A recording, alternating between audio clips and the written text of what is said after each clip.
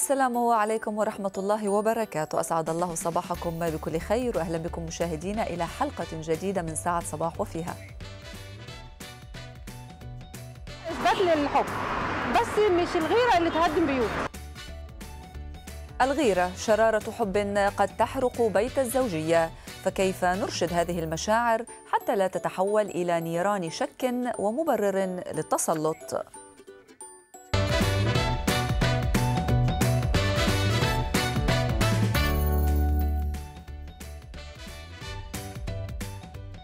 تسأل إحدى الزوجات قائلة زوجي يغار علي بشكل هستيري. حتى أنه بدعوى هذه الغيرة صار يعد علي أنفاسي ويتحكم في كل تحركاتي فترد عليها زوجة أخرى. ليت الأمر معي كذلك. فزوجي دائما ما يخبرني أنه يثق بي بشكل مطلق. هو لا يغار علي وأشعر أنه لا يحبني. الأزواج أيضا يشكون من غيرة زوجاتهم بدرجات متفاوتة. وتحول شعور الغيرة الفطري المطلوب أحيانا إلى خطر حقيقي قد يتهدد الحياة الزوجية. وفي حلقة اليوم من ساعة صباح مشاهدينا سنتحدث عن الغيرة وسنرى ما يفصلها عن الشك أو الاستبداد. لنصل في النهاية لتصور واضح عن الغيرة الحميدة بين الأزواج.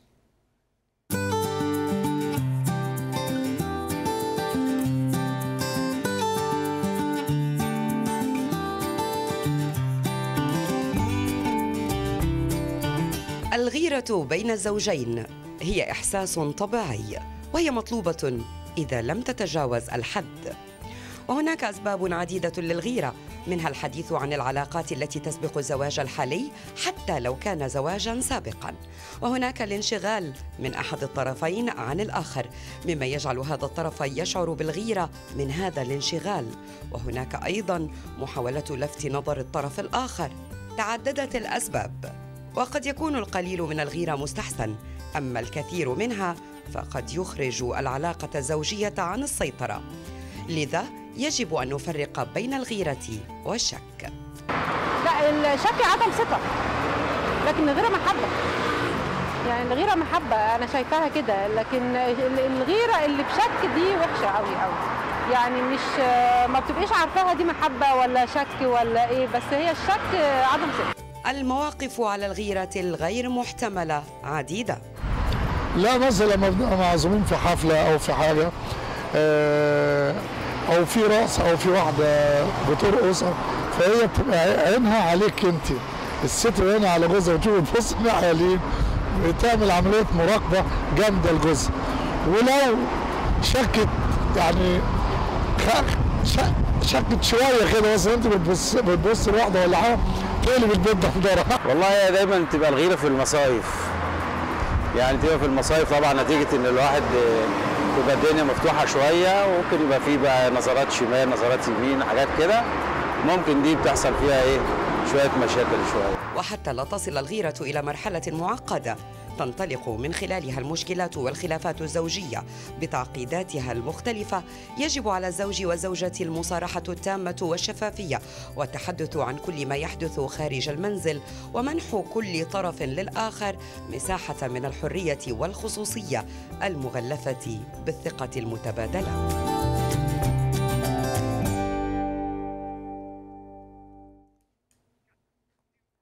والحديث مشاهدينا عن الغيرة المحمودة بين الأزواج. نرحب بضيفتنا في الاستوديو مريم المالكي المستشارة الاجتماعية والأسرية. صباح الخير وأهلا وسهلا صباح بك. النور. يا هلا مرحبا.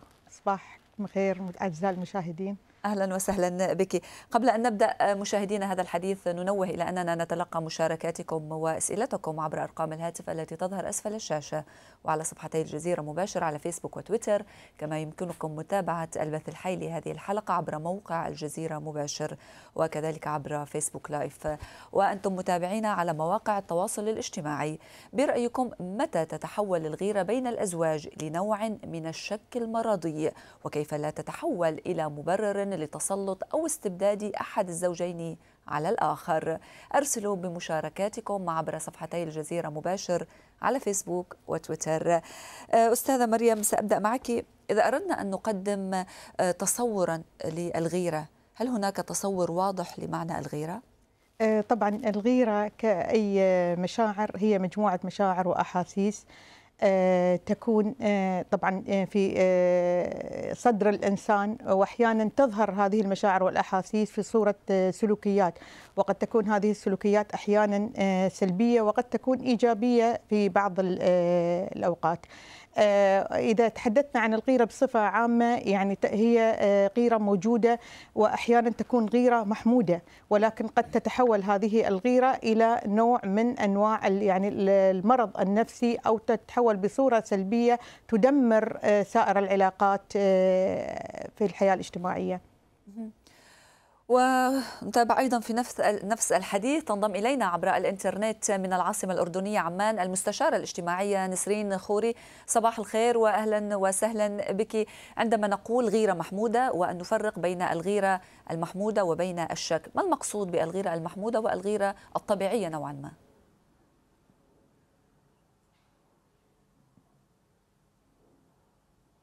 صباح الخير لك سيدتي وكل أعزائنا المشاهدين. طبعا أكيد هي الغيرة لازم تكون هيك نقول شو بهار الإيجابي للحياة الزوجية بس لازم يكون في توازن بالغيرة وإنها ما تزيد عن حدها ال ال السيء لأنه إحنا في عنا غيرة إيجابية وفي عنا غيرة سلبية أو في عنا غيرة طبيعية وفي عنا غيرة س- آه، غير طبيعية. أو شديدة. فكل ما بتكون الغيرة شديدة أكيد بتتحول لمرحلة شك. هو بكون حط فاصل بينها. يعني لازم يكون في غيرة لأنه هي بتكون يا إنتاجية يا بتكون مدمرة. ولكن لازم يكون الغيرة من باب الاهتمام. يعني أنا بقول إنه أنا زي ما قالت ضيفتك العزيزة إنه هو شعور بالحب وشعور إنه هذا الشخص لازم يكون في علاقة ولازم يكون في مشاركة ما بينه وبينه في العلاقة الزوجية وأنا أكون أعمل له أشياء أهتم فيه ولكن إذا بتزيد عن حدها بتتحول لشك وبتكون مدمرة في العلاقة الزوجية. فهي بنقدر نقول من باب الاهتمام من باب المشاركة من باب الحوار ما بين الشخصين. ولكن إذا بكون ما في أسباب للغيرة بتكون غيرة وهمية هاي بتكون غيرة مدمرة أكيد. نعم طب عندما نقول غيرة بين الأزواج هل تقتصر الغيرة بالفعل هي على يعني هذه كمشاعر تقتصر بين الأزواج تحديدا؟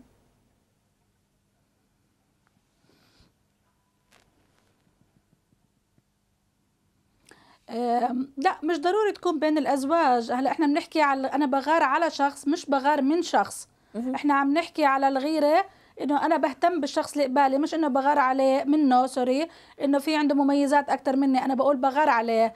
هلا ممكن أنا كأهل بغار من شريك حياتي ممكن أغار على ابني عمل تصرف كتير غلط على بنتي على أخوي على أختي أو صديق عزيز لإلي أو جار فموجودة بالمجتمع ولكن غالبا هي بتكون الغيرة الرومانسية إذا أنا بغار على شخص. لأنه أنا بدي أتملك شخص أنا بدي أكون بمحور هذا الشخص بكمية كبيرة. وطبعا هي بتكون بنسب من شخص لتاني حسب الثقافة وحسب نوع الشخصية لما نحكي عن الأسباب. وهي بتكون ما بين الرجل والمرأة على حد سواء حسب التربية وحسب أسباب كثيره فممكن تكون تتعدى الحياة الزوجية. نعم. نعم. سيدة مريم يعني لو قلنا تطبيقات الغيرة الاجتماعية لو عدنا إلى الغيرة الزوجية. هل هي بالفعل مشاعر مطلوبة؟ يعني آه، بالفعل يجب أن تكون هناك مشاعر الغيرة لتكون العلاقة آه، صحيحة؟ نعم آه لابد أن يكون هناك آه هذه المشاعر بين الرجل والمرأة لأنها تعبر عن الاهتمام آه والحب في العلاقة الزوجية.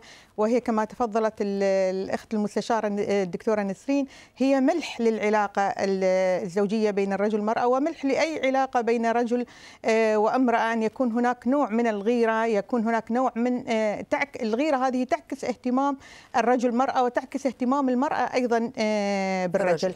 فقليل من الغيرة مطلوب في أي علاقة زوجية بين الرجل وامرأة وفي أي علاقة حتى يعني علاقة أحيانا الأشقاء في بعضهم بعض تكون هناك أيضا نوع من الغيرة والتنافس. لأنها لا تقتصر الغيرة فقط أيضا يعني على العلاقة الزوجية فقط. هناك أنواع أخرى من الغيرة. هناك غيرة عائلية غيرة الأخوة من الأخوات آه، وهي مذكورة حتى في القرآن الكريم كغيرة آه، أخوة آه، سيدنا يوسف, يوسف. من اهتمام الأب وحبه لسيدنا يوسف عليه السلام. آه، هناك أنواع آه، متعددة. أيضا هناك تكون الغيرة موجودة حتى في مجال بيئة آه، العمل وتكون أيضا آه، موجودة في العلاقات الاجتماعية. ولكن تكثر الغيرة يعني في الحياة الزوجية يمكن بصورة أكثر وبصورة آه، ملحوظة. وهي التي م- يعني متعارف عليها نعم ومنتشرة. وهي المتعارف عليه نعم آه، في مفهوم آه، الغيرة آه، هناك أيضا نوع من الغيرة تحدث يعني أحيانا تتعدى الحدود في حتى في علاقة الأصدقاء ببعضهم البعض هناك نوع من الغيرة يحدث تنافس أو أحيانا يكون الطرف الآخر لديه نوع من عقد يعني النقص كما نقول أو إحساسه بفقدان الأمانة وخوفا من فقدان الطرف الآخر نعم. فتتم مشاعر الغيرة وبعد أحيان تصبح مؤذية هذه نعم، الغيرة نعم، نعم، تؤثر عليهم. ونذكر مشاهدينا أنه يمكنكم التواصل معنا عبر الأرقام التي تظهر أسفل الشاشة. ينضم إلينا عبر الهاتف محمد من السعودية. السلام عليكم. ألو السلام عليكم. أهلا وسهلا. فيها الغيرة وفيها الفتنة الفتنة الشيطان والغيرة. وهذه أسبابها السواليف والحكايات تقعد تقول وتقول ويدخل الشيطان بالفتنه وتصير الغيره كل عندها إيمان وتقول والله ما جاء غيره ولا جاء جواز ولا جاء فتنه لكن الشيطان يشعل من هنا فتقول الله اذكروا المعوذات في الاعراس وذات تقرون في البيت عشان تبعد الفتنة. إن شاء الله تبعد الفتنة. حتى في العائلات حتى في العالم فتن. في فلسطين في الأمة العربية كلها. فاذكروا الله ومن ذكر الله فحفظه الله في الدنيا وفي الآخرة. نعم. السلام عليكم شكرا ورحمة الله جزيلا. وبركاته. نعم شكرا جزيلا سيد محمد على هذه المشاركة. آه، سيدة نسرين يعني عندما نقول آه، دائما ما تعبر الغيرة عن الحب ولكن آه، بعض السيدات أو بعض ال- الرجال أيضا يشكون أن لا غيرة. هل هي عندما لا تكون هناك آه، وجود غيرة هل هذا دليل على عدم وجود الحب أم هذا شأن آخر؟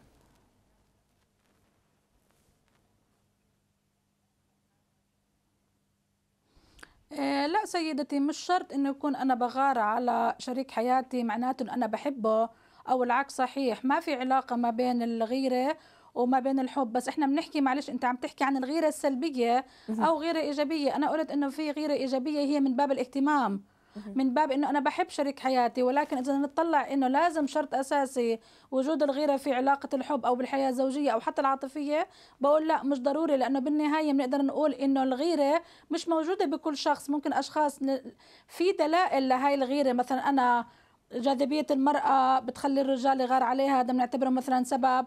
أو بيئة عمل الرجل مثلا بيشتغل بصالونات العلاقة السيدات فممكن بتعامل مع أجواء فيها سيدات ما ممكن تكون هون نوعا ما في غيرة. ولكن بقول إنه الغيرة إذا بتزيد عن حد الطبيعي في العلاقة بتكون كتير غلط لأنها مدمرة لأنه بتكون أساس في الشخص اللي بيغار. ممكن الشخص اللي بيغار عنده مواصفات بشخصيته إنه هو مثلا نقول ضعيف شخصية آه، ممكن إنه حاسس عدم الأمان الموجود بالعلاقة. فهون إحنا عم نقول لازم يكون في غيرة لأنه حاسس إنه الشريك ما بيعطيه اهتمام أو في اخ- اختلاف معين أو ما في حوار مستمر أو إنه ما في يقضي وقت معين مع آه، شريك الحياة.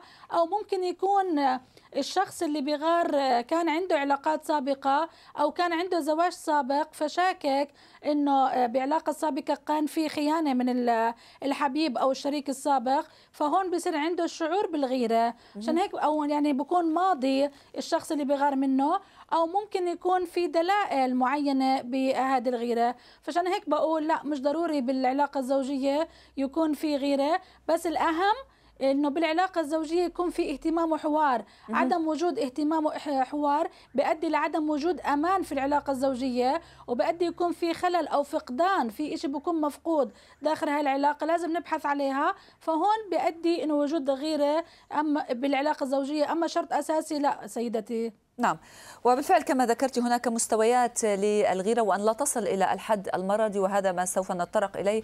وردنا سؤال تقول صاحبته هل من حق زوجي بدعوى الغيرة أن يفتش في هاتفي؟ أستاذة مريم يعني كيف تردين على هذه هذا السؤال؟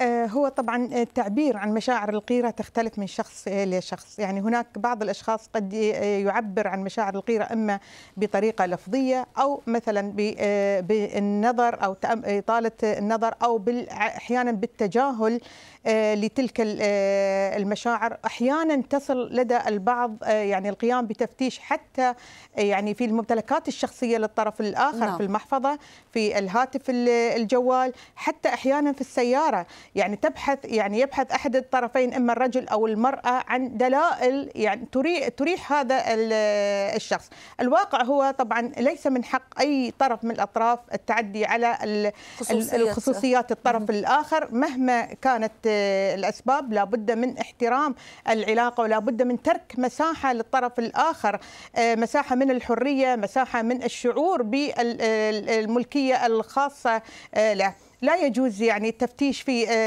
هاتف الرجل سواء للمرأة أو أيضا الرجل يفتش أو ينظر في هاتف, هاتف الزوجة. أو بالعكس. نعم. هذه الأسباب أحيانا, أحيانا هذه المؤشرات أحيانا تكون مؤشرات إما تكون لدى الرجل أو المرأة يعني أعراض مرضية يكون وهم مرض أو وهم الغيرة أو الشك يعني نقول أحيانا تكون هناك يعني مثل ما قالت الأخت الدكتورة خبرات سابقة للرجل أو المرأة في تعرضهم لخيانات سابقة أو فقدان عزيز خوف من فقدان هذا الشخص الذي يشعر بتملكه. ولكن في كل الحالات نقول الثقة مطلوبة لابد أن تبنى العلاقة الزوجية على الثقة. وإذا يعني اهتزت هذه الثقة أنا أعتقد أن العلاقة تكون مهزوزة وتؤثر بشكل كبير على العلاقة بين الرجل والمرأة وأيضا تنعكس على أبنائهم. نعم. أستاذة نسرين ربما هذا شكل من أشكال الغيرة. إذا وردنا أيضا تعليق آخر تقول صاحبته أن زوجها لا يحبها لأنه لا يشعرها بأنه يغار عليها. هل هذا التصور أو هذه النتيجة هي برأيك صحيحة نوعا ما؟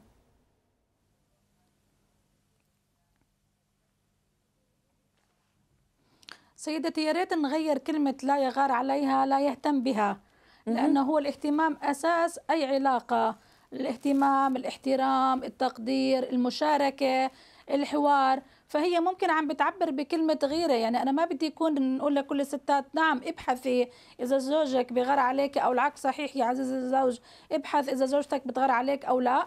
بس أحيانا بكون في دلائل الست بتحس لأنه أي شخص موجود بعلاقة معينة بحس بأعراض إنه شريك حياتي بطل يحبني شريك حياتي ما بيهتم فيي شريك حياتي بقضي وقت أكتر برا شريك حياتي بيعرف يغازل الآخرين. طب عندي بالبيت ليش ما بيعرف يقول كلمة حلوة؟ نعم. شريك حياتي بحب يطلع على الجنس الآخر أو الطرف الآخر بطريقة كتير حلوة بكون الطرف الآخر جذاب. فهون بتكون بعض الأدلة بتقول لك إنه هيو الزوج بيعرف أو الزوجة بتعرف تعطي اهتمام للآخرين للطرف الآخر بس ليش ببيتي لا؟ فهون بيزيد عندها الشك بالغيرة. إحنا ما بنقول إنه الغيرة تتحول لشك دائما بقول لا بتصير عندها علامة استفهام ليه ما بيهتم فيي؟ فعشان هيك بقول للطرفين ما يكون عندك اعتقاد أو وهم إن أنت رح تفقد شريك الحياة وعبر عن مشاعرك لشريك الحياة إنه ليش أنت ما بتهتم فيه وبنفس.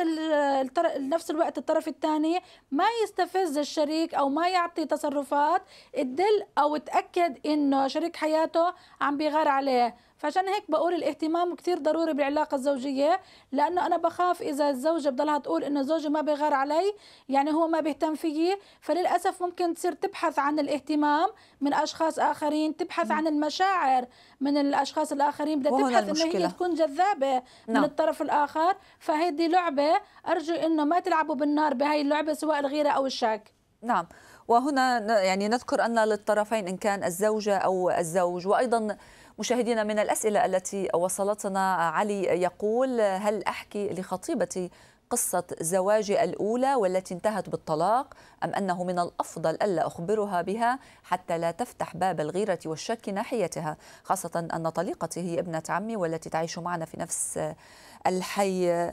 أستاذة مريم يعني في يعني مثل هذه الحالة بعض بعض الأشخاص أو بعض الرجال ربما لا يتطرقون لبعض المواضيع خوفا من غيرة المرأة والتي ربما تسبب لهم بعض المشاكل في مثل هذه الحالة هل الصراحة مطلوبة أم الإخفاء هنا ضروري؟ هو بالنسبة للصراحة طبعا مطلوبة في العلاقة الزوجية ولكن يعني الرجل يستطيع أن يتحكم في درجة هذه الصراحة إخفاء موضوع طلاقة يعني من من زو على زوجته الثانية كزوجة أولى لديه هذه طبعا يهدم العلاقة الزوجية وأنا أعتقد أن الصراحة مطلوبة إلى درجة في درجة معينة أو بنسبة معينة في علاقته مع الزوجة الثانية. ولكن تبقى هناك بعض الخصوصيات التي لا ينبغي أن يذكرها إلى زوجته الثانية أو يذكر مشاعره تجاه الطرف الزوجة الأولى. هذه تثير مشاعر الغيرة لدى المرأة. هناك أيضا يعني بعض الأزواج يتعمد ذكر محاسن أو يعني انتقادات زوجته أمام الآخرين. ويذكر محاسن نساء أخريات. حتى لو كانت أمه حتى لو كانت أخواته بعض النساء تغير على زوجها من هذه الأمور. فينبغي أن يعرف الرجل أو تعرف المرأة ماذا يستثير هذا الرجل من ماذا يقير. عليها أن تبع أن تبتعد عن المواضيع التي تثير النزاع والخلافات بينها وبينه. ولكن الصراحة مطلوبة في الحياة الزوجية. الصراحة لدرجة درجة معينة بنسبة متفاوتة. يستطيع الرجل أن يقيس يعني نبض المرأة ويعرف ما هي المواضيع التي يفتحها أمامها أمام هذه المرأة وماذا يتكلم عنه عن حياته الزوجية السابقة نعم. ولكن يخفي الموضوع تماما عن زوجته الثانية على أساس أنه مطلقة نعتقد يعني هذه شوي فيها نوع يعني من لو اكتشفت الزوجة من شخص آخر هذه العلاقة قد تكون تسبب نعم مشاكل. تسبب مشاكل وتسبب أحيانا هدم للعلاقة الزوجية فالصراحة مطلوبة ولكن بقدر معين يستطيع الرجل أو المرأة أو أي حد من الأطراف أن يقيس هذه النسبة الصراحة وما هي المفتاح للزوج أو الزوجة في كل الأطراف وفي كل الحالات يستطيع الرجل أن يقيس نبض المرأة وتستطيع المرأة أيضا تقيس نبض الرجل في هذه الأمور. بماذا يتحدث؟ وعن ماذا يتحدث؟ لا يحاول أن يثير يعني غيره المرأة ومشاعرها باستفزازها وبمقارنة بينها وبين الزوجة الأولى السابقة. ولكن الأخبار في هذه الحالة ضروري. ضروري جدا نعم, نعم. نحاول الإجابة على بعض أسئلة متابعين مستمعينا ربما لأن هذا الموضوع يتعلق نوعا ما ببعض التجارب الشخصية. نتوقف عند سؤال آخر أرسلته جميلة إلينا تقول فيه أشعر أن خطيبي يمثل علي مشاعر الغيرة ولا أشعر أنه يغار علي فعلا. كيف أكتشف صدق غيرته؟ وكيف أعرف أنها ليست من الغيرة المرضية؟ أستاذة نسرين كيف يمكن أن نجيب جميلة عن هذا السؤال؟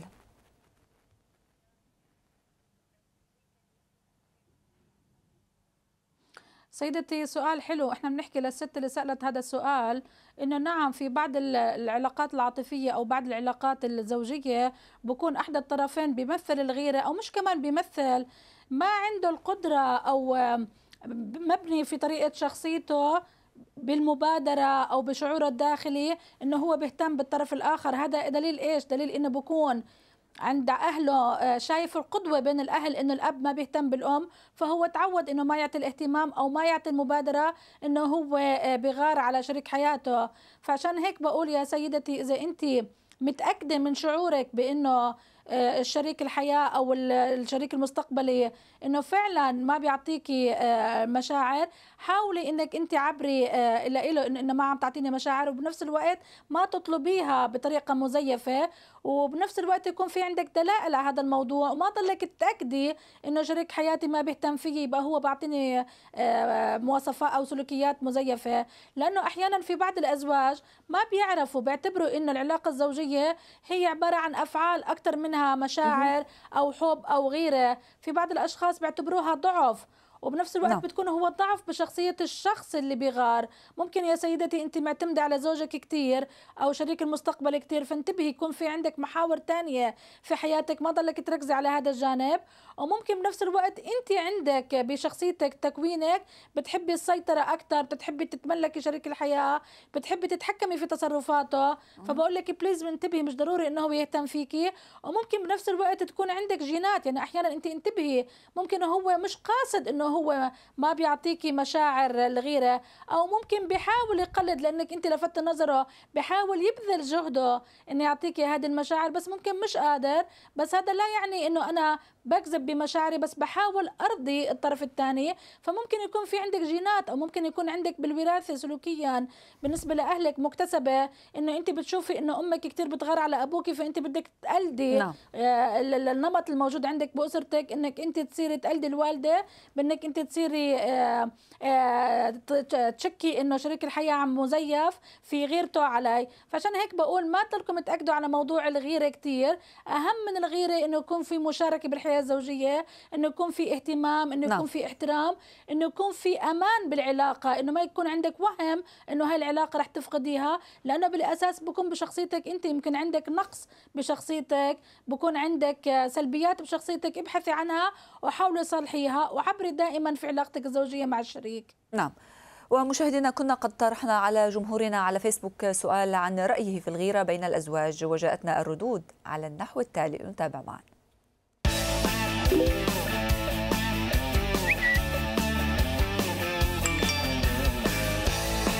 معا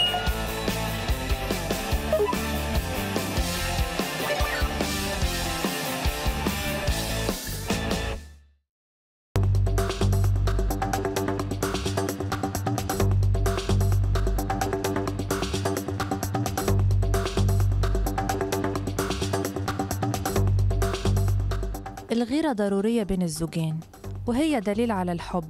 وفي نظري إذا قلت الغيرة بينهم معناته في خلل في العلاقة. محمود صاحبي بيقول قلة ثقة في النفس.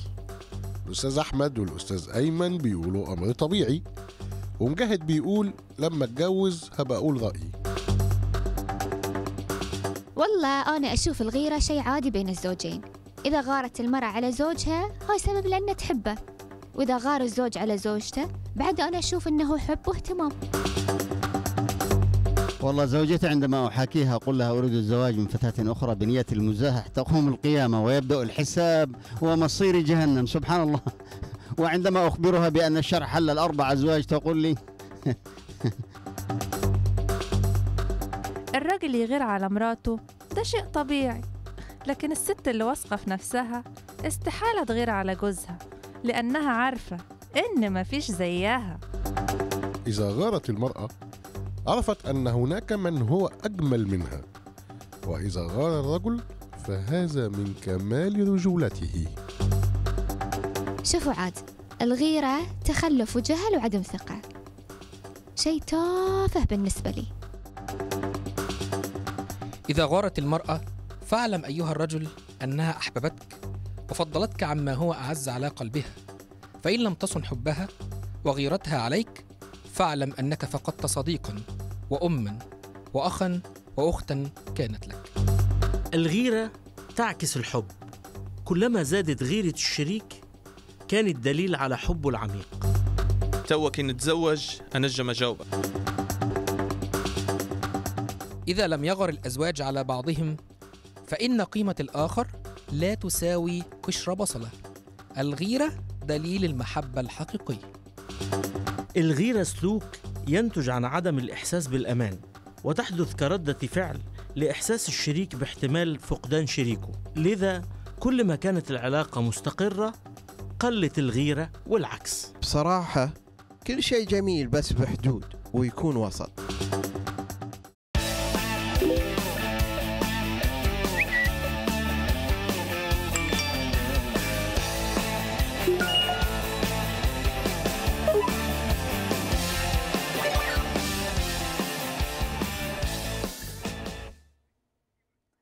أستاذة مريم تابعتي معنا تعليقات بعض المشاهدين حول موضوع الغيرة وهناك تفاوت كما لاحظتي في النظر إلى الغيرة منها من يقول أنها ربما تعبر عن مرض نفسي أو نقص في الشخصية ومنها من يقول أنها بالعكس تعبر عن الحب بين الطرفين. متى تكون هذه الغيرة أو متى نحاول ان لا تتحول هذه الغيرة إلى شك وإلى غيرة مرضية فعلا أو أنها لا تكون سبب من أسباب مشكلة في الشخصية؟ اولا أنا أود أن أعلق على بعض الأخوات اللي آه، قالت إن الغيرة عندي تافهة جدا. لا الغيرة ليست آه، تافهة دائما. بالعكس هي تعكس آه، الاهتمام والحب ومدى آه، تمسك كل من آه، طرف بالطرف ال- الآخر. أنا أعتقد إنها يعني وجودها في الحياة الزوجية جدا مهمة وإلا يعني تكون الحياة كأنها علاقة يمكن علاقة أصدقاء حتى تكون أحيانا علاقة الأصدقاء تشوبها نوع من آه، الت- آه، التنافس تشوبها نوع من ال- آه، الغيرة. وهذه يعني من المشاعر التي تكون آه، سلبي آه، سلبية في بعض ال- آه، الأوقات ولكنها تعطي الحياة الزوجية نوع من نعم. النكهة والطعم آه، بين الزوجين وتشعر ال- المرأة ويشعر الطرف الآخر أنه لا زال آه، في قلب الطرف الآخر آه، لديه مكانة. أود أن يعني أعلق أيضا أن اهتمام الرجل وغيرة الرجل أحيانا آه، على المرأة تتمثل في سلوك آخر، يعني إحدى الأخوات لما قالت أن أنا زوجي لا يغير علي، هو يغير عليك ويهتم فيك، ولكن بعض الرجال لا يعبر عن مشاعره آه، بحكم طبعا آه، آه، أسلوب التربية التي تربى عليها، ولكن تتجسد اهتمامه وحبه وغيرته على زوجته في أفعال. في أفعال وفي اهتمام في اهتمام بالأسرة، في اهتمام بأطفاله، اهتمام بالأوقات العائلية التي يقضيها. نرجع إلى تحول الغيرة إلى سلوك سلبي، نعم تتحول الغيرة إلى مشاعر يشوبها الشك والوهم في بعض الأحيان آه، تنعكس في تصرفات آه، كل من آه، الطرفين. إما تكون تكون لها ردة فعل جدا سلبية آه، تلجأ أحيانا يلجأ أحد الأطراف مثل ما قلت إلى التفتيش في خصوصية الطرف الآخر. أحيانا تتبع الطرف الآخر وتتبع أين يذهب أين أتى أين من تحدث معه اليوم. حتى لو كانت يعني لو كان تحدث مع أصدقائه أو مع صديقاته. نعم. البعض يمنع الزوجة حتى من زيارة الأهل أو التجمع مع الأهل والأصدقاء بدافع آه، من الغيرة، هنا تكون الغيرة يعني تجسدت بصورة سلبية وتحولت من آه، غيرة آه، فيها نوع من العاطفة وفيها نوع من الحب إلى غيرة آه، مرضية. نعم. وهذه طبعا يرجع إلى التركيبة النفسية وأسلوب تربية هنا هنا من يكون هناك مشكلة. آه، بالنسبة لنواحي الغيرة بعض السيدات يقولن يعني يعبرن عن الغيرة من خلال ال- أو الاهتمام كما ذكرت السيدة نسرين من خلال ال- آه، آه، الكلمات ومن خلال الاهتمام وما إلى ذلك ولكن بعض الرجال يقولون أنا أغار على زوجتي وأهتم بها بالأفعال وليس نعم. بالكلمات صحيح. هنا التفاوت هنا وربما تحدث بعض المشاكل نعم. في هذا الموضوع نعم الرجل الشرقي بطبعه قليل آه، التعبير عن مشاعره عن مشاعر. نعم آه، هذه طبعا يرجع إلى أسلوب التربية آه، بأنك أنت رجل ولا يجب أن تبكي ولا يجب أن يعني تعبر ولا آه، آه، ولا يجب عليك أن آه، تقول كلمات قد تعبر عن ضعف. مشاعرك نعم نعم عن المشاعر لذا نجد يعني أغلب الرجال الشرقيين وإن كنا يعني ما نقول يعني أغلبهم البعض منهم لا لديه يعبر. لا لا يستطيع أن يعبر وإن وليس معنى ذلك إنه لا يمتلك هذه المشاعر بالعكس تكون مشاعره فياضة ولكن يحتفظ بها لذاته ولا يعبر فيها للطرف الآخر وهنا تظهر شطارة ال- المرأة أو الطرف الآخر في كيف آه، تجعل هذا الطرف أو الرجل هذا يعبر عن آه، مشاعره. هي مسألة آه، تدريب هي آه، مواقف تحتاج إلى آه، وقت آه، يعني طويل آه، لي- ليظهر هذا الرجل مشاعره. وإن كان يعني لا يعني ذلك أن الرجل ليس لديه غيرة هي المشاعر الغيرة مشاعر آه، فطرية موجودة ولكن. التعبير عنها نعم ربما طريقة يختلف التعبير عنها تختلف من شخص إلى آخر في الحياة الزوجية. ونجد أيضا هذه الغيرة موجودة. السيدة عائشة آه، رضي الله عنها كانت تغير على رسول الله صلى الله عليه وسلم. فلم آه، يعني أبرز مثال آه، لما جاءت آه، ص- آه، سيدة صفية أرسلت آه، بإناء فيه لس- للرسول صلى الله عليه وسلم فالسيده عائشة قامت وكسرت آه، هذا ال- آه، الإناء فأدرك الر- الرسول حب آه، سيدة عائشة وقدر هذه المشاعر وتعامل معها بهدوء وصمت فندمت السيدة عائشة على تصرفها أحيانا طريقة ردة آه، فعل الطرف آه، في الآخر. الحياة الزوجية آه، هي آه، يعني تحتوي المواضيع آه، آه، هذه ويستطيعون التغلب على آه، هذا نعم. المرض نعم. ولكن عندما تتحول إلى نوع من الوسواس أو إلى الشك أنا أعتقد تكون هذه المشاعر تحتاج المشكلة. نعم تحتاج إلى آه، من آه، يعني يروضها أو من يقودها أو من آه، يرشدها إلى الطريق الصحيح واحيانا في بعض ال- ال- الحالات نعم. تحتاج إلى تناول أدوية لمرض نفسي نعم أستاذة نسرين يعني بعض الأشخاص آه، ربما بتبرير الغيرة أو آه، يعني تحت ستار الغيرة يبررون لأنفسهم إن كان الطرف الزوج أو الزوجة يبررون لأنفسهم التسلط السيطرة وتصل أحيانا إلى حد الاستبداد بحجة الغيرة.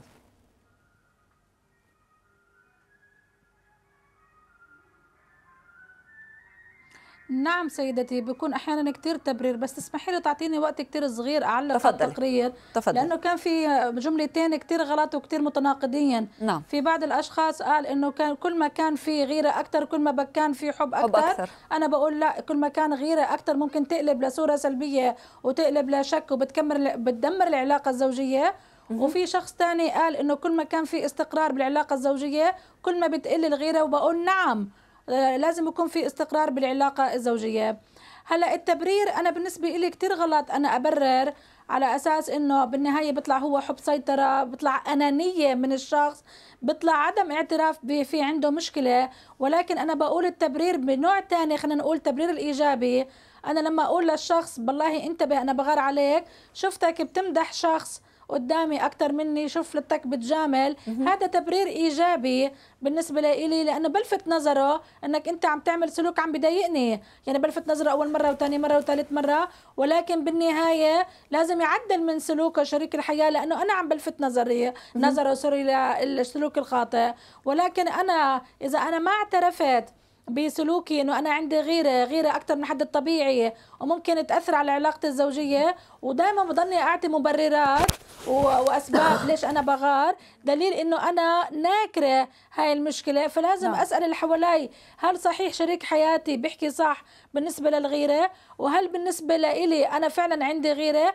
أو أروح عند مختصين حدا حياديين نعم. مختصين استشاريين عندنا مثلا يجوا أو عند غيرنا نساعدهم نعرف إيش هي المعايير الأساسية بالنسبة للغيرة. فالتبرير المستمر دائما ممكن يزيد المشكلة أكثر فأنا ما بنتبه لسلوكياتي ودائما بضلني أبرر رغم إنه شريك حياتي عم بي بلفت نظري بتبريره إنه في سلوك عندي غلط. فالتبرير أنا بقول كتير غلط بزيد المشكلة أكثر نعم. وبزيد السيطرة أكثر وبزيد الأنانية أكثر وبالنهاية بتكون في عقدة نقص أو مشكلة بنفس الشريك. فأنا ما بدي نكراني دليل إنه أنا ما عندي إشي حلو. يعني مثلا أنا بقول أنا أكون مش جميلة وبغار على زوجي إنه هو بيطلع على وحدة حلوة. هو عم بلفت نظري إنه please انتبهي إن انت ما تغاري. أنا هون إيش بنكر؟ بنكر لا إنه أنا حلوة وبنفس الوقت لا أنا ما بطلع على هديك الصبية اللي هي أحلى مني. فهون التبرير بصير عندي بصورة سلبية. نعم. عشان هيك بقول لكم please ما بدنا نستخدم التبرير في الطرفين فهذا ممكن يضر بالعلاقة الزوجية سيدتي. نعم. مشاهدينا نأخذ هذا الفاصل القصير ثم نعود لاستكمال النقاش والتعرف على تعليقات متابعينا على مواقع التواصل الاجتماعي. فتفضلوا بالبقاء معنا.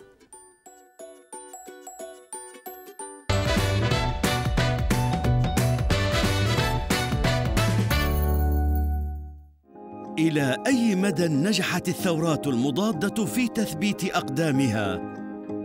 ما الكلفة السياسية والاجتماعية والإنسانية للثورات المضادة؟ هل طويت صفحة الربيع العربي؟ أم أنه مرشح لاندلاع موجة جديدة؟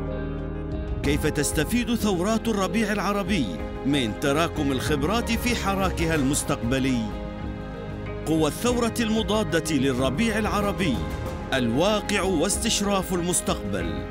ندوة في مدينة إسطنبول. ينظمها مركز الجزيرة للدراسات وقناة الجزيرة مباشر بالتعاون مع المركز التركي الآسيوي. للدراسات الاستراتيجية. تسام. في العشرين من شباط فبراير الثلاثاء الخامسة مساء بتوقيت مكة المكرمة على الجزيرة مباشر.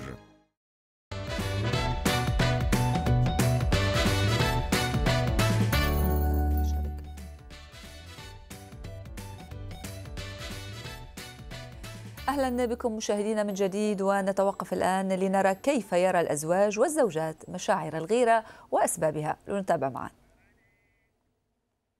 والله هي الغيرة في حد ذاتها تولد حتى ما بين الأخوة راهي الغيرة موجود. ما هوش كان في ال- ال- المرأة والراجل وحتى بين الأخوة تتولد الغيرة. و- والغيرة توا ظاهرة ولات ظاهرة عالمية ما هيش معناها غير نحن العالم الثالث ناخذوها ب sens أخرى. فما اللي يغير على مرته فما اللي يبدأ حتى في car هو مرته يجيه راه واحد وراها ولا حاجة يتقلق وساعات من غير من غير ما يشعر. وهي راهي مسبب من مسببات المشاكل. الغير هذه ولا حتى في ال portable ساعات يغلط واحد في ال portable يطلب تبدأ مرتك بحذاك في الدار يطلب تجي تقول لها شكون؟ عادي فما غيرة ما بين الأزواج. عادي مرأة تغير على رجلها ورجل يغير على مرته. أما كي تبدا فما الثقة معناها normalement تكون العلاقة ماشية هذايا موضوع vraiment نعانيو منه العباد الكل. presque la plupart أكثر النساء مش بركة في تونس. يعني في العالم الكل. معرسة عندي 15 سنة. في الأول كنت نغير برشا. ومن بعد لقيتها حكاية فارغة. نغير مش ما نغيرش أما مش كيما الأول. الغيرة متاع المرأة للراجل بعد ساعات تخنق وإلا تجيب مشاكل وإلا توصلك المرحلة اللي أنت ما عادش عندك ثقة في روحك. donc آه، كان باش تفكر vraiment في دارك وراجلك اللي انت تحبه de préférence اللي انت ما عادش تولي تغير كيما قبل وخليها ما بين البنين. ما كل شيء هو باعتدال لا أفراط ولا تفريط. حتى باش ما نكونوش آه، آه، ما نمشيوش لل- للنتيجة السلبية. والله الغيرة هي بالنسبة لي معناها مرض فما اللي من ال extrême لل extrême فهمت؟ وكثرة حاجات برشا معناها اللي فسدت المجتمع تو حاليا ولا واحد يغير بالسيف فهمت؟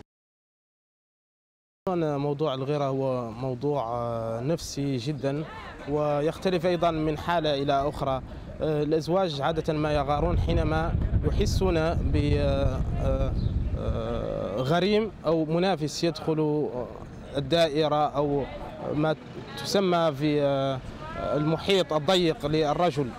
أو المرأة والتي يشعر حيالها بالتملك وعدم الرغبة في منافسين يأخذون نفس المزايا التي يأخذونها وبالتالي يشعرون بذلك الشعور النفسي الذي يتطلب منهم الدفاع عن الحوزة الترابية التي يمتلكونها.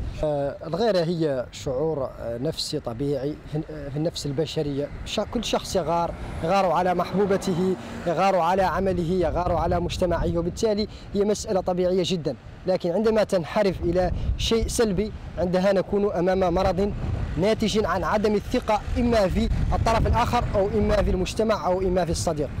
أعتقد أن الغيرة في الإنسان أمر طبيعي جدا.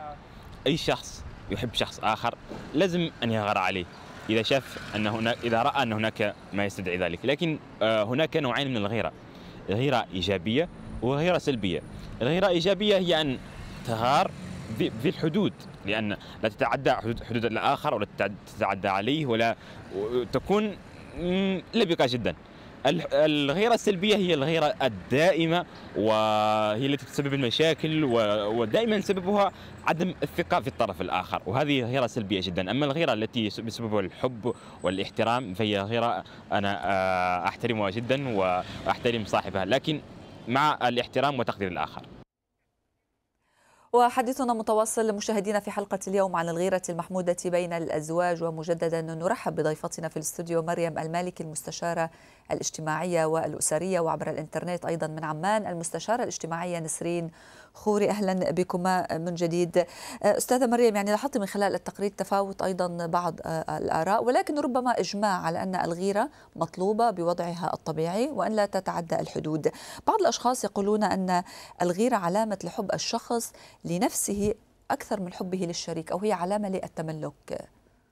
آه نعم. آه الحب آه عفوا الغيرة هي أحد المؤشرات للحب وليست كل المؤشرات وليست كل الدلائل لأن أحيانا تكون الغيرة من نوع آخر بين الرجل والمرأة. أحيانا طرف أحد الأطراف الحياة الزوجية يغير من الطرف الآخر إما لجماله أم أو لكونه يمتلك مركز اجتماعي أو كونه يعني مرموق آه، اجتماعيا ويكون آه، مجال عمله فيه آه، اختلاط.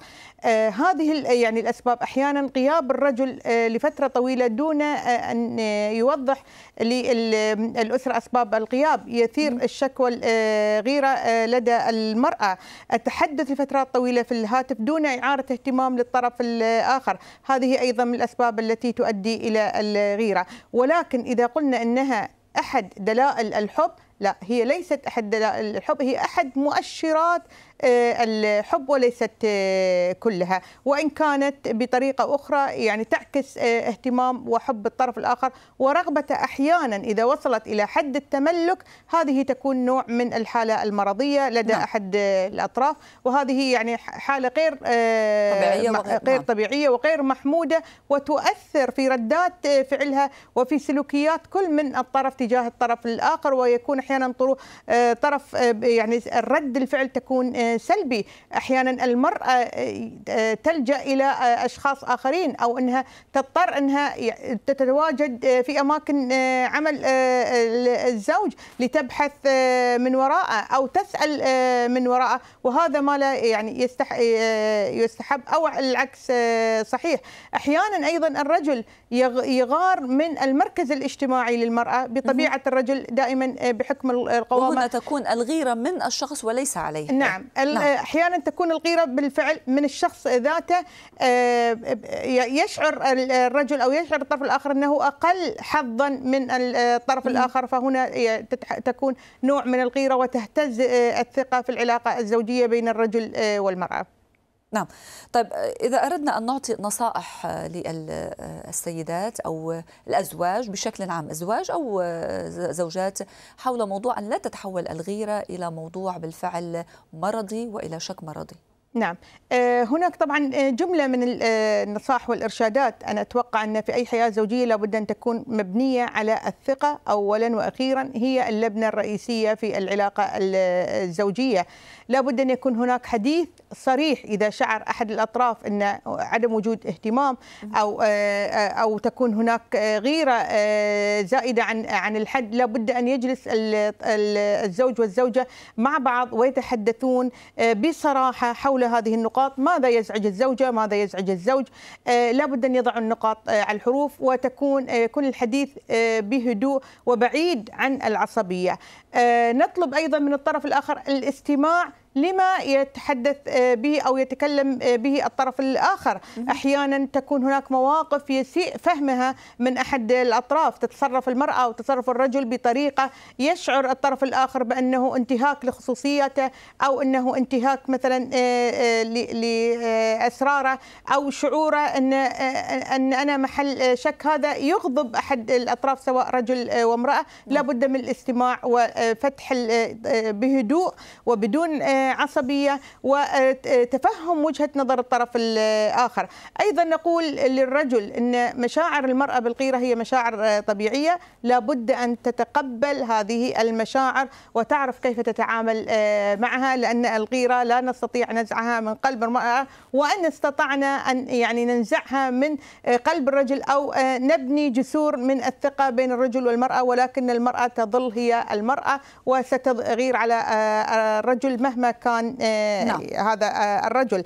آه، أيضا لابد الابتعاد عن الطرف الآخر لفترة معينة آه، واعطائه مساحة من الحرية, الحرية، نعم. نعم. هناك يعني البعض من ال- ال- الأزواج أو الزوجات تحب أن تكون دائما لاصقة مع زوجها وتحب أن تعرف أين ذهب ومن أين أتى وتحدث من مع من وخاصة إذا كان في مجال أنها عمل ت- تستطيع السيطرة على يشعر ال- الرجل دائما الرجل يحب أن يشعر بمساحة من الحرية. يشعر بمساحه من الخصوصية. آه، أحيانا حتى الرجل يعني بطبعه يظهر شخصية أخرى في العمل تختلف عن شخصيته آه، في المنزل. لا يريد أن تنتهكها ال- المرأة أو آه، زوجته هذه الخصوصيه لابد أن تشغل المرأة نفسها إذا شعرت بالغيره لابد أن تشغل نفسها باهتمامات نعم. آه، كثيرة اهتماماتها باطفالها المشاركة في النادي أو زيارة نعم. لصديقات أو زيارات آه، عائلية. آه، أيضا الثقة بالنفس مطلوبة في المرأة آه، ونود في المرأة والرجل نعم نعم. نعم. يمكن أن نتكلم من جانب المرأة يمكن لا دائما محسوب على المرأة أن هي التي تغار نعم. أكثر من الرجل. إذا كان فعلا حتى الرجل يعني أنا مثل ما قلت لك أن هناك بعض الرجال يشعر بعدم الثقة بنفسه. قد تكون زوجته أكثر حظا أكثر حظا في الجمال قد تكون أكثر حظا في المركز الاجتماعي. فهنا يستثير هذا ال- الشيء عند الرجل. لذا لا بد أن تكون العلاقة الزوجية مبنية على الثقة آه، والحوار والاستماع والإنصات وتفاهم وجهات النظر الآخر وتقبلها أيضا. نعم وكما ذكرت الحوار ربما أهم نعم، شيء في هذا الموضوع. نقطة. أستاذة نسرين نريد منك نصائح للأشخاص. هناك بعض آه، آه، الأزواج أو الزوجات آه، إذا كان الطرف الآخر لا يغير يحاولون استثارة غيرة الشخص الطرف الآخر ببعض التصرفات آه، التي تثير غيرته هل تنصحين بهذه التصرفات أم أنها تعود بالسلب على الطرفين أو على العلاقة الزوجية بشكل عام؟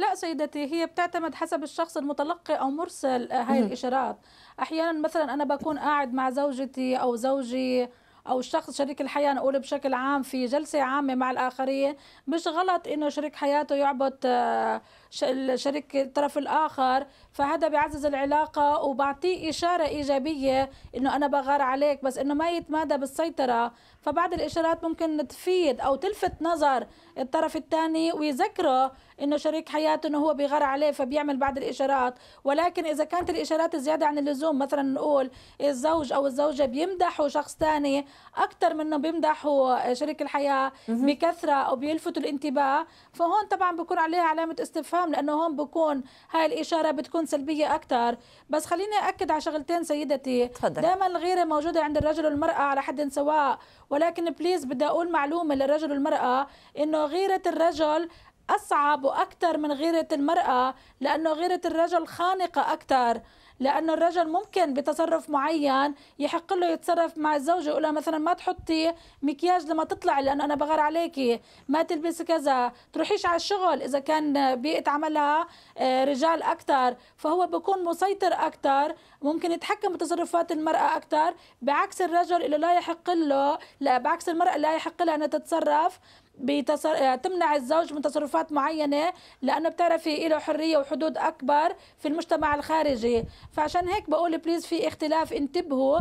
آه والشغلة الثانية بقول إنه غيرة الرجل على المرأة لأنه بيخاف إنه زوجته تدخل بعلاقة عاطفية. ولكن غيرة المرأة على الرجل لأنه بتخاف إنه الرجل يدخل بعلاقة جسدية. فعشان هيك بقول لكم في فرق خوف من المرأة على الرجل عن خوف الرجل على المرأة. فعشان هيك موجودة بين الطرفين. ونهاية بقدر أقول لك إنه معلومة كتير حلوة إنه بليز انتبهوا فرقوا بكلمة غيرة. هلأ غيرة حلوة إيجابية من باب الاهتمام بس ما ضلكم تطلبوا كتير الغيرة من شريك الحياة. ممكن بتخنق أكتر وبتكون مدمرة فلازم يكون في توازن بالعلاقة بين الطرفين. وما تعتمدي سيدتي تاخذي الاهتمام اللي هو بين قوسين الغيرة من شريك حياتك فقط.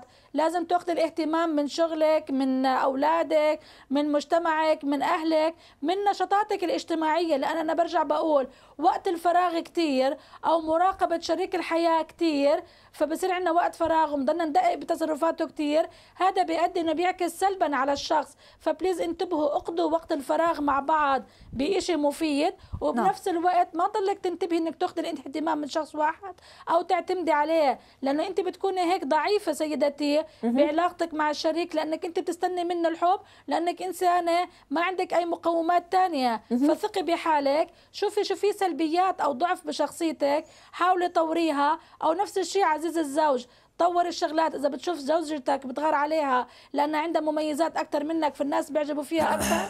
حاول انت تطور من شخصيتك لأنه تطوير الشخصية وتطوير الذات بيساعد إنه الغيرة تقل ما بين الزوجين وإن شاء الله تكون الغيرة من باب الاهتمام وألا للجميع تتعدى حتى تكون حدود ال- الحياة نعم. الزوجية. نعم. ولدينا اتصال عبر الهاتف صباح الخير. صباح الأنوار أختي. أهلا وسهلا تفضلي. والله دلال من قطر تفضلي دلال. اللي ما شاء الله ما قصروا. فيما يخص هذا الموضوع الحساس والذي يمس كل أسرة عربية خصوصا لأنه من شيمة العربي أنه يكون غيور ولا نطلق عليه مصطلح مو حلو أبدا الغيرة حلوة كتير كتير وتدخل من باب الاهتمام في بالي لا أكثر إلا إلا إذا كان الإنسان مريض. كل ما كان اهتمام الزوج بزوجته وغيور عليها لازم تحس بالاطمئنان وتحس بالسعادة وتحس إنها مالكة مخه وعقله والعكس صحيح. بعرف واحدة يعني مثلا من كثرة الغيرة على زوجها هو كان مدير آه، ثانوية كانت تتبعه في كل مكان. مرة تأخر كان عنده اجتماع على تحضير ثانوية عامة كان عنده اجتماع وكانت مديرة التربية اللي مسؤولة هناك في الوزارة مرة. بس هم كانوا مديرات ومديرين وكذا.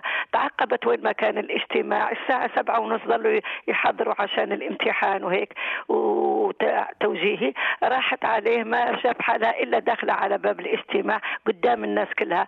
الرجل طلع استأذن من مديرة التربية. وطلع برا وحلف عليها من ذاك اليوم مطلقة يعني طلقها زوجها لأنه الموقف اللي صار له ما مشكل وكان عندها الخلفية أنه لما يكون عنده اجتماعات تتبع أثاره كل مرة والناس كله سمعوا في مكان شغله نعم. أنه المرأة غيورة بالزايد يعني والعكس صحيح في مرة من كثرة ما ما يغير عليها نعم. زوجها من كثرة يعني حتى من الرقم القياسي حتى ما صارت تشوف الدنيا زي الحريم هي طلبت الخلع يعني طلبت الخلع تقول مش قادرة أتنفس مش قادرة أشوف حياتي. نعم. كل شيء زي ما قال الأخ التونسي نسبي نسبي. نسبي. يعني الدونية كثير كمان بتحس بالعقد النفسية. الواحد حتى لما يكون تحسيه من باب الحب ومن باب المحبة ومن باب الصدق أنت تكوني واثقة في نفسك ما دام غاير عليك يعني يحبك.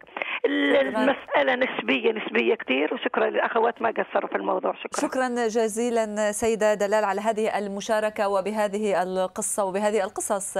ننهي حلقة اليوم من ساعة صباح. نشكر ضيفتنا المستشارة الاجتماعية والأسرية مريم المالكي والتي كانت معنا في الاستوديو وكذلك الشكر من عمان عبر الإنترنت للمستشارة الاجتماعية نسرين خوري. والشكر أيضا لكم مشاهدينا لطيب المتابعة. نرجو لكم صباحا جميلا. والسلام عليكم ورحمة الله وبركاته.